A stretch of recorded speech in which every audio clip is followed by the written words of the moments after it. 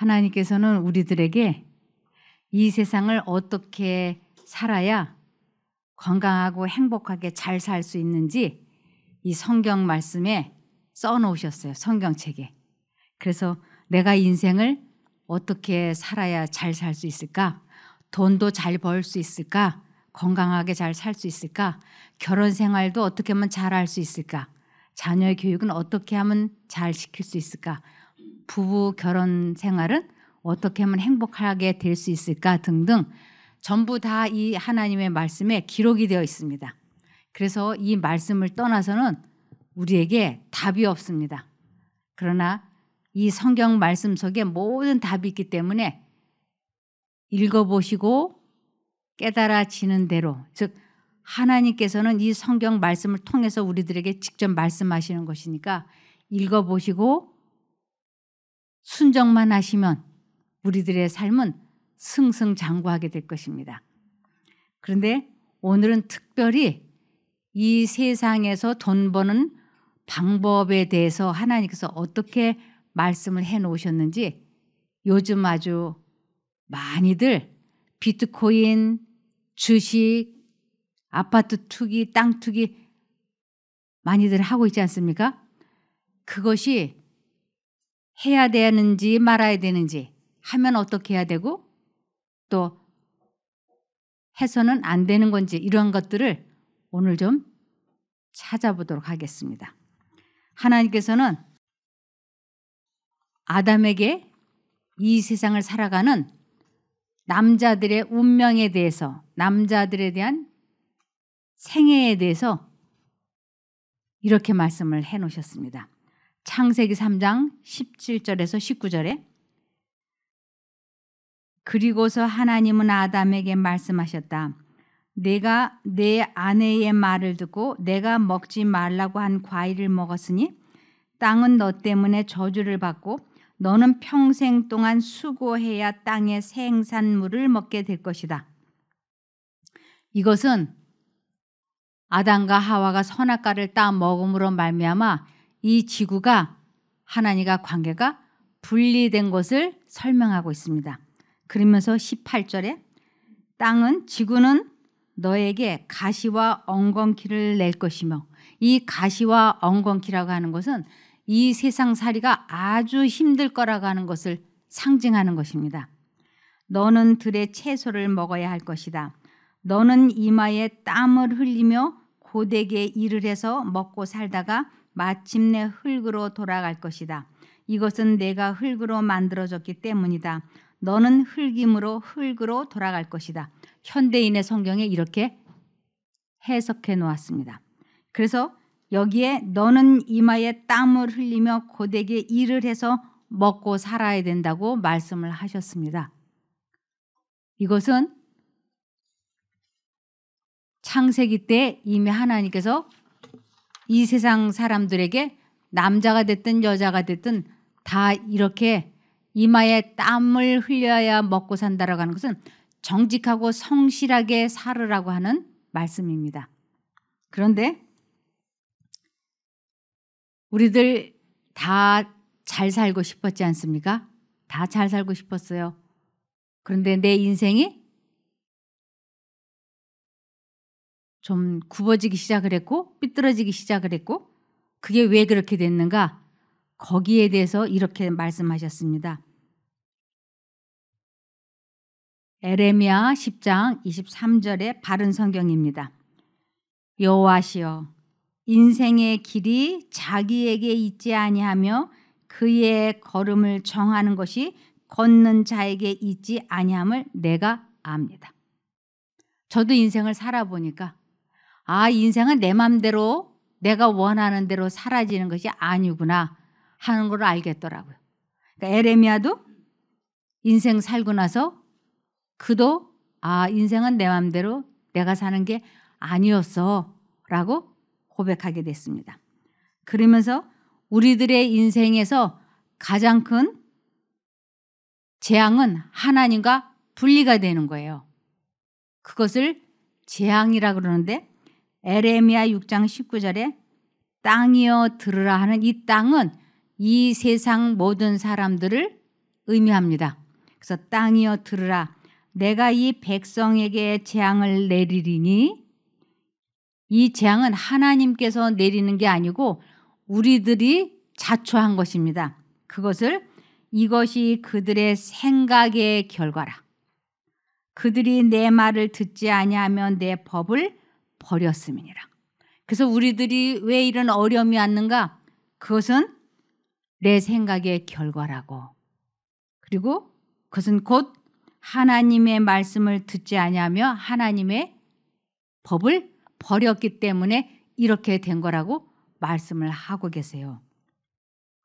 그러면서 이 세상을 살아가려면 필연적으로 우리는 이 세상에서 돈을 벌어야 합니다. 어떤 식으로 돈을 벌어야 되는가? 요즘 비트코인, 주식, 증권, 부동산 투기 이러한 것들을 투기라 그러는데요. 이 투기와 투자의 차이점을 좀 먼저 찾아보고 말씀을 드리겠습니다. 투기라는 것은 어떤 걸 가지고 투기라고 하느냐면 따지고 보면 어떤 것을 구매해서 주식, 부동산, 비트코인 등 판매하는 모든 행위는 투기에 해당한다. 왜냐하면 내가 지금 필요한 것도 아니고 시세 차익을 노리고 구매하는 것이고 값이 아니 비싼 값이 될 것이라는 희망을 가지고 움직이기 때문이다. 이것이 투기예요. 투기. 그 다음에 투자라고 하는 것은 크게 돈을 장시간 묻어두는 것과 같은 것이에요.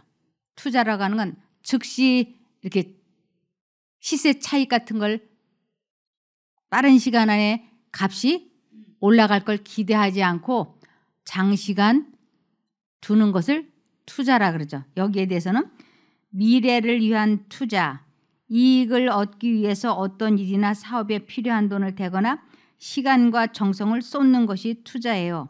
투자는 꼭 돈으로만 하는 건 아니에요.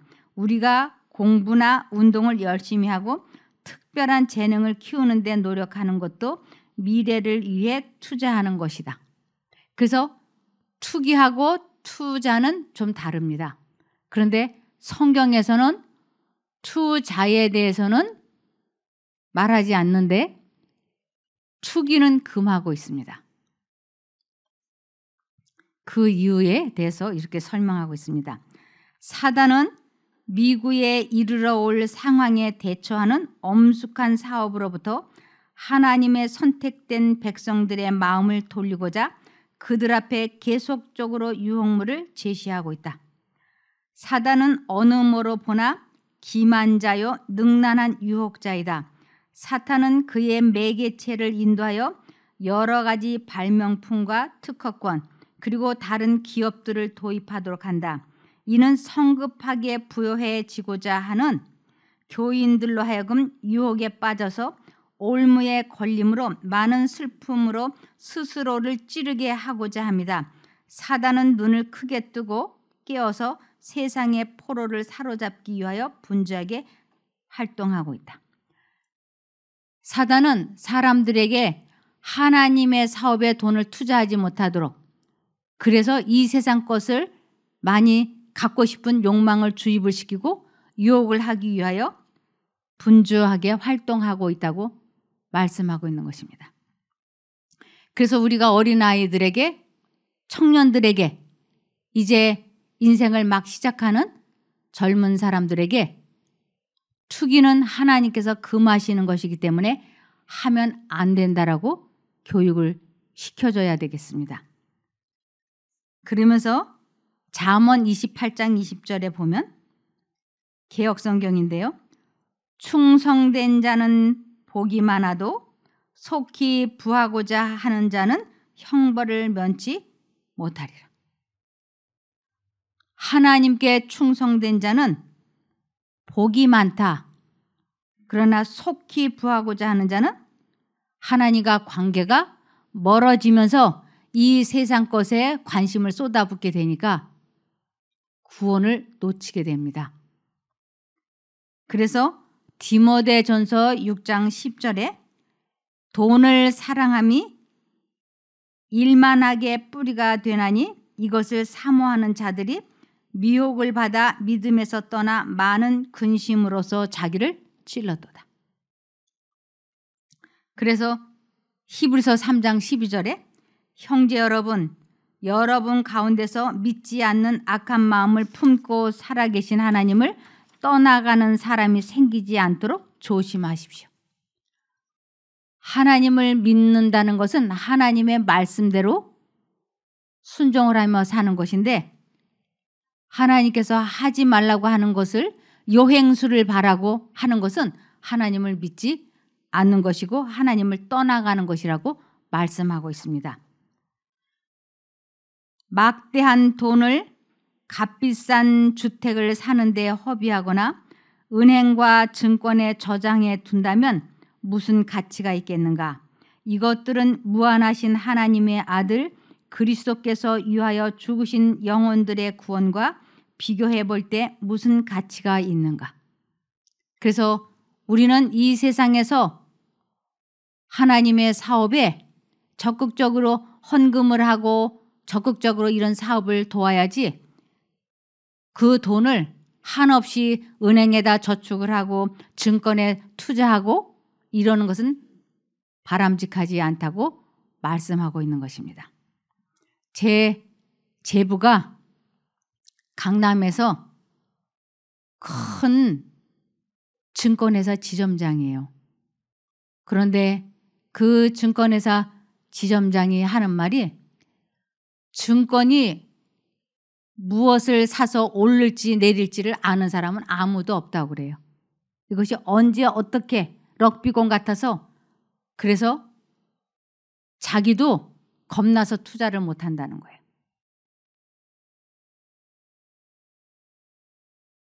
하나님께서 하지 마라 하면 그냥 무조건 따지지 말고 묻지 말고 안 하면 돼요. 우리 엄마나 아빠가 아이들 보고 그거 하지 마라. 그러면 왜요? 이거 하면 왜 안 돼요? 이렇게 따지고 묻지 말고 그냥 부모님이 하지 마라. 좋지 않아. 그러면 그냥 지금은 내가 잘 이해가 안 되지만 어련히 알아서 부모님이 하지 말라고 하실까? 그래서 무조건 순종을 하면 그것이 복이 되는 것을 우리들이 보았지 않습니까? 부모가 자식 덕 보자고 어려서부터 아이들을 이거 하지 마라 저거 하지 마라 이러지 않아요. 아이들의 유익을 위해서 부모들이 말씀해 주시는 것처럼 하나님께서는 더더군다나 우리들을 위해서 할 것과 하지 말아야 할 것을 이렇게 말씀해 주십니다. 여기 잠언 20장 21절에 처음에 서둘러서 상속 재산을 받을 수 있으나 그것의 끝은 복되지 아니하리로다. 상속을 일찍 받으면 한마디로 공돈이잖아요. 그 공돈이 잘 관리가 안 된다고 하는 것입니다. 그리고 이것을 현대인의 성경에서는 이렇게 설명을 했습니다. 처음에 급히 얻은 재물은 나중에 복이 되지 않는다. 그래서 상속받은 재산 또 부동산 투기나 비트코인이나 증권 투자나 이런 걸로 돈을 갑자기 확 많이 벌면 그것이 복이 되지 않는다고 하는 것입니다. 우리 증권 해서 돈을 벌게 되면요. 어떤 일이 일어나느냐면 계속 하고 싶어지는 중독성이 생겨요. 그래서 결국은 돈이 모아지지 않고 사라져 버립니다. 그 계획을 세우는 뒤에는 사탄이 존재한다고 하는 것입니다. 여기 많은 사람들이 그들의 돈을 세속적인 투기에 투자하며 이렇게 함으로써 모든 돈을 잃게 된다 그랬어요. 그러므로 누가복음 21장 34절에 너희는 스스로 조심하라. 그렇지 않으면 방탕함과 술취함과 생활의 염려로 마음이 둔하여지고 뜻밖의 그날이 덕과 같이 너에게 임하리라. 우리는 술 취함과 방탕함과 생활의 염려, 생활의 염려가 되면 자연히 돈을 잘 벌고 싶은 욕망으로 이것도 해보고 저것도 해보고 투기도 해보고 그러죠. 그런데 그렇게 하다가 이 마음이 둔해져서 하나님과 완전히 분리되는 날이 올 수 있으니 스스로 조심하라고 말씀을 해주시고 계십니다. 그런데 사람들은 아, 내가 이번에 복권을 사서 50억의 1등에 당첨이 되면 하나님 제가 40억을 하나님께 드리겠습니다. 10억만 내가 갖고 40억은 교회에 헌금하겠습니다. 그러니 저에게 복권에 당첨이 되게 해주세요. 이러고 복권을 많이 사는 사람들이 있어요. 그런데 그런 말을 실제로 하는 사람들이 있는데 이렇습니다. 수주 전 내가 산호제에서 야영에 참석하고 있을 때 우리 형제들 중에 어떤 이들이 나에게 제시하기를 거액의 이윤을 얻을 수 있는 광산과 철도 주식에 자본을 투자할 놀라운 기회를 생각해 냈다고 했다. 그들은 성공을 확신하고 있는 것처럼 보였고 그들이 얻을 것으로 기대되고 있는 이윤으로 선행을 하겠다고 말했다.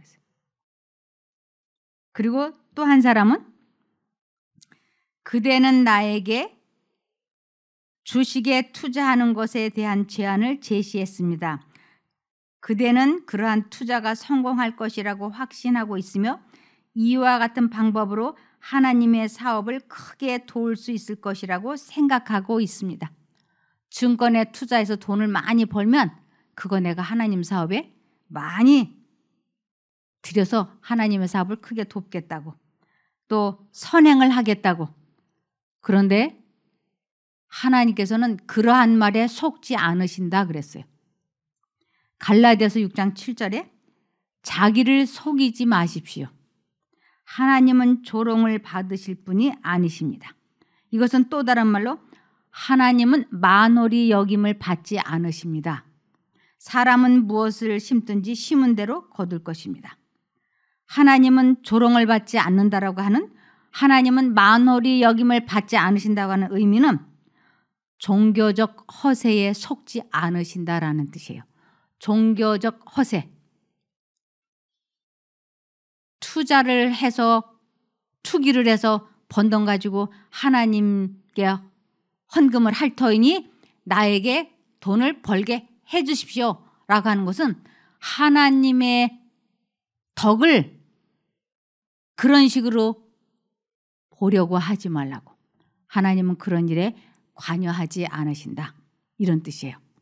그래서 자기를 속이지 말라고. 하나님은 조롱을 받으시지 않으신다고요. 그러면서 사람은 무엇을 심든지 심은 대로 거둘 것입니다. 내가 하나님의 뜻대로 순종을 하든지 사단의 뜻대로 투기를 하든지 그 사람은 자기가 선택한 대로 살게 될 것이라고 말하는 것입니다. 그러면서 왜 이러한 생각들을 하게 되는가에 대하여 야고보서 1장 15절에 욕심이 잉태한 즉 죄를 낳고 죄가 장성한 즉 사망을 낳느니라 그랬어요. 이런 생각을 하게 되는 것은 내가 부동산 투기를 하고 주식을 투자하고 복권을 사고 그 이면에는 하나님의 사업에 돈을 많이 드리려고 하는 것이 아니고 자기에게 필요한 욕심이 잉태되어서 그러한 생각을 하고 그렇게 말하는 것이다라는 것이에요. 그러면서 잠언 16장 1절에서 2절에 이렇게 말씀하셨습니다. 계획은 사람이 세우지만 결정은 주님께서 하신다. 아, 내가 오늘 복권을 사는데 이 복권이 당첨이 30억이 되면 나는 3억 원만 갖고 27억은 하나님께 다 드리겠습니다. 도와주십시오. 라고 하지만 하나님께서는 그런 일에 관여하지 않으신다고요. 그래서 사, 계획은 사람이 세우지만 결정은 주님께서 하신다고.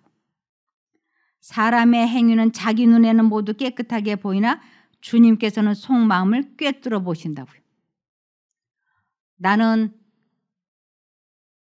50억이 벌리면 20억은 내가 갖고 30억은 하나님 드리겠습니다. 라는 말을 하고 계획을 세우지만 그 마음 속에는 하나님의 사업에 관심 있는 것이 아니고 자기의 욕심을 차리기 위한 계획이라고 하는 것을 주님께서는 속마음을 꿰뚫어 보신다라고 하는 것이에요. 그래서 돈을 그런 식으로 벌 경우에는 이렇게 된다 그랬습니다. 에레미야 17장 11절에 재물을 모으되 바르게 모으지 아니하는 자는 자고새가 알들을 품고 부화시키지 못하는 것 같아서 그의 날들의 중간에 그것이 떠나겠고 끝에는 그가 어리석은 자가 되리라. 끝에는 그가 어리석은 자가 되리라. 성경에서 말하는 미련한 자, 어리석은 자라고 하는 것은 불신자와 똑같은 거예요. 그래서 자고 자고새가 알들을 품 때 부화시키지 못하는 것과 같아서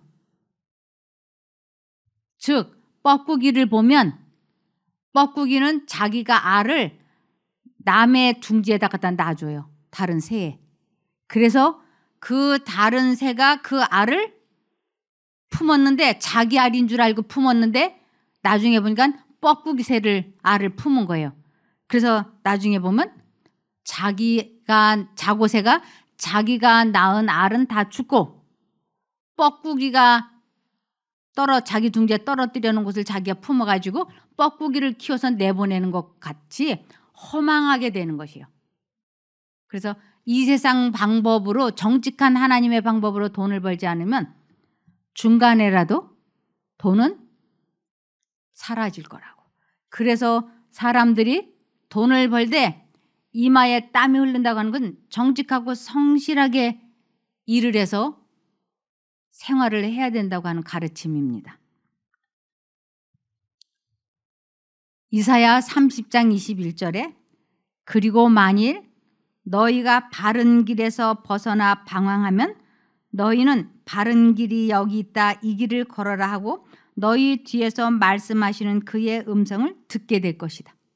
하나님께서는 우리들이 좌로나 우로나 치우칠 때 양심 속에 분명하게 말씀을 하신다고요. 이 길이 정론이 이리로 가라고. 그런데 그 음성을 무시하고 가게 되면 하나님의 법을 버리고 하나님의 음성을 듣지 않고 가기 때문에 인생을 그르치게 된다고 하는 것입니다. 우리들이 무슨 좋지 않은 어떤 일을 하려고 하면 이러면 안 되는데 하고 뭔가 양심이 이렇게 껄, 꺼림칙한 거 있죠. 그게 하나님의 음성이에요. 꺼림칙한 거. 이러면 안 되는데. 그럴 때 하나님 앞에 무릎을 꿇어야 된다고 하는 것입니다. 그러면서 잠언 10장 22절에 여호와께서 복을 주시기 때문에 사람이 부하게 되는 것이지 노력만 한다고 해서 부자가 되는 것은 아니다. 하나님께서 복을 주시기 때문에 이 부와 귀는 하나님께로부터 온다고요. 과도히 아껴도 가난하게 되는 사람이 있는가 하면 흩어서 남을 계속 도와주는데도 점점 부하게 되는 사람이 있다고요. 그래서 부와 귀는 하나님께로부터 온다고 말씀을 하셨습니다. 그런데 우리들이 하나님을 믿는다고 하면서 하나님의 이 세상의 것을 얻기 위해서 복 받기 위해서 철야기도 금식기도 작정기도 하죠. 그런데 그런 거 안 해도 우리 하나님은 필요한 만큼 사람들에게 주십니다. 그러니까 하나님 안 믿는 뭐 저 삼성가 사람들, 현대가 사람들 보세요. 그들 하나님은 안 믿어요. 그래도 노력한 만큼 그들은 돈을 벌지 않습니까? 그래서 우리가 이 세상을 살면서 가장 최우선순위를 두어야 되는 것이 하나님의 뜻에 순종하는 것이에요. 하나님과 내가 연합하는 것입니다. 그것이 가장 중요해요. 내가 이 세상 것을 다 가졌다 할지라도 영생을 잃으면 무슨 소용이 있습니까?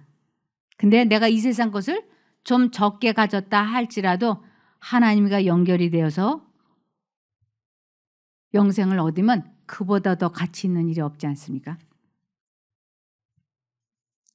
마태복음 6장 24절에 한 사람이 두 주인을 섬기지 못할 것이니 혹 이를 미워하며 저를 사랑하거나 혹 이를 중히 여기며 저를 경히 여김이라 너희가 하나님과 재물을 겸하여 섬기지 못하느니라. 그래서 내가 하나님의 말씀을 무시해 가면서 불순종해 가면서 재물을 얻는 쪽에다가 마음을 쏟지 말라고 향하지 말라고 말씀을 하십니다. 하나님께서는 우리들에게 이 세상 재물을 모으는데 너무 그렇게 비 하나님과 협조하지 않고 벌려고 하지 말라고 말씀하십니다. 그러면서 마태복음 6장 30절에서 33절에 믿음이 적은 자들아 이것은 하나님을 믿지 않는 모든 사람을 이야기하는 거예요. 아니면 하나님을 믿는다고 교회는 다니지만 믿음이 적다란 건 믿음이 없는 사람이라는 뜻이에요. 뭐 목사가 됐든 장로가 됐든 신부가 됐든 하나님의 뜻에 부합되지 않을 때 그들은 믿음이 적은 자라고 말해 줄 수 있습니다. 믿음이 적은 사람들아 하나님께서는 오늘 있다가 내일 아궁이에 던져질 꽃도 이렇게 입혀 주시는데 하물며 너희야 더 잘 입혀 주시지 않겠느냐? 그러므로 너희는 무엇을 먹을까 무엇을 마실까 무엇을 입을까 하고 걱정하지 말아라. 이런 것들은 모두 믿지 않는 사람들이 애써 구하는 것이다 하늘에 계신 너희 아버지께서는 이 모든 것이 너희에게 있어야 할 것을 다 알고 계신다. 너희는 먼저 하나님의 나라와 그의 의를 구하라. 그러면 이 모든 것을 너희에게 덤으로 주실 것이다. 우리가 이 세상을 살아가면서 가장 중요한 게 뭐냐면 내 마음에 은혜의 왕국, 하나님을 내 마음에 영접해서 내 마음에 은혜의 왕국이 되고 예수님의 품성이 재현되는 것에다 최우선 순위를 두라고 거기에다 초점을 맞추고 살게 되면 이 세상의 모든 것은 덤으로 부족함이 없게 해주시겠다고 약속하셨습니다. 그러면서 이사야 5장 8절에 가옥의 가옥을 연하며 이 가옥의 가옥 아파트의 아파트를 전토의 전토를 더하여 빈틈이 없도록 하고 이 땅 가운데서 홀로 거하려 하는 자는 그들은 화 있을진저. 이거 부동산 투기하는 거예요. 그래서 이 땅 가운데 홀로 거하려 하는 자. 다른 사람들에게 비싼 값으로 팔게 되면 자기는 좋겠지만 주변 사람들은 괴롭잖아요. 그리고 하나님과 분리되어서 결국은 이 땅에 남게 되는 것을 의미하기도 합니다. 그래서 이 땅 가운데서 홀로 거래하는 그들은 화 있을 진저라고 말씀하셨어요. 그러면서 빌립보서 4장 11절에 사도 바울이 내가 가난하기 때문에 이런 말을 하는 것이 아닙니다. 나는 어떤 형편에서도 스스로 만족하는 법을 배웠습니다. 부할 때나 가난할 때나 살 때나 죽을 때나 먹든지 마시든지 무엇을 하든지 하나님과 연결되는 데다 최우선 순위를 두고 하라고 말씀을 하고 계십니다. 그래서 돈이 없다고 기죽을 것도 없고 열등감에 마음 아파할 것도 없고 주님께 마음과 정신을 고정시키면 주님께서 지혜를 주시고 기회를 주셔서 생활비를 벌 수 있게 도와주십니다. 에베소서 3장 17절에서 18절에 믿음으로 그리스도께서 여러분의 마음에 계시게 하시기를 기도합니다. 그리고 여러분이 사랑의 뿌리를 받고 기반을 다져 모든 성도들과 함께 헤아릴 수 없는 그리스도의 사랑의 폭과 길이와 높이와 깊이를 깨달아 알고 하나님의 모든 풍성하신 은혜가 여러분에게 넘치기를 기도합니다. 그래서 가장 중요한 것은 내 마음에 그리스도를 영접하는 것입니다. 그렇게 되면 이 세상에서도 부족하지 않게 도와주시고 영생까지도 소유할 수 있게 도와주십니다. 그렇게 되기를 바라며 말씀을 마치겠습니다. 기도할까요?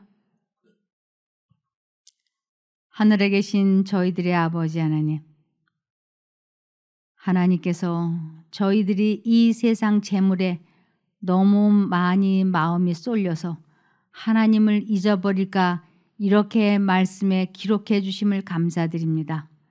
저희들이 모든 최우선 순위를 하나님께 두는 생활을 살 수 있게 도와주시옵소서. 혹여라도 저희가 하나님을 잊어버리고 이 세상 재물의 마음을 깊이 향하면 저희를 회개시켜 주시옵소서. 언제 어디서나 최우선 순위를 하나님께 두어서 구원을 이루어가는 생애가 되게 도와주시옵기를 예수님 이름으로 기도드리옵나이다. 아멘. 감사합니다.